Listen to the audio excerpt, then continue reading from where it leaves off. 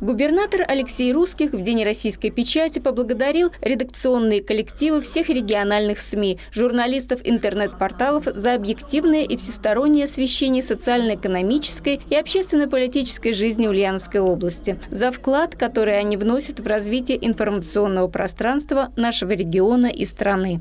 Талантливо, правдиво и непрерывно ведете летопись нашей великой и малой Родины. Огромное вам за это спасибо. Средства массовой информации неизменно являются ключевым партнером региональной власти в решении задач стратегического развития Ульяновской области. В работе по повышению качества жизни, по созданию современной, мощной инновационной экономики. Для журналистского сообщества региона прошедший 2022 год, безусловно, стал годом напряженной творческой работы. Дорогие коллеги, я искренне поздравляю вас с Днем Российской Печати. Этот праздник, наверное, самый главный, потому что тогда, э, много лет назад, Петр I придумал э, великолепную вещь. Он придумал прессу. И с тех пор пресса является не только символом правды, символом истины, символом э, того, что нельзя победить.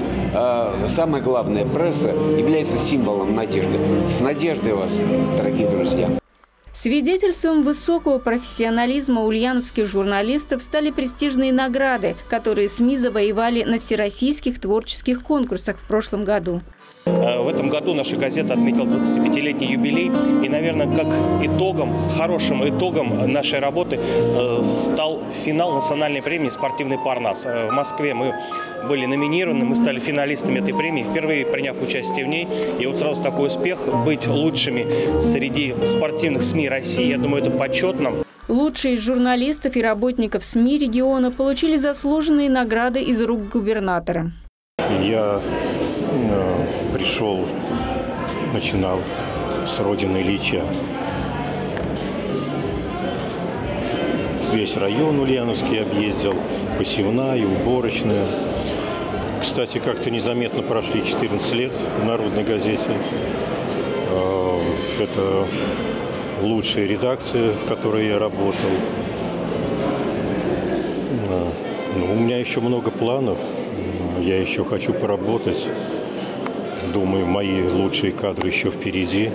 Благодарна судьбе за то, что она мне дарила людей, профессионалов своего дела, которые все эти годы были со мной рядом, шли этим большим путем. Поэтому всех с праздником, всем здоровья, мира, благополучия.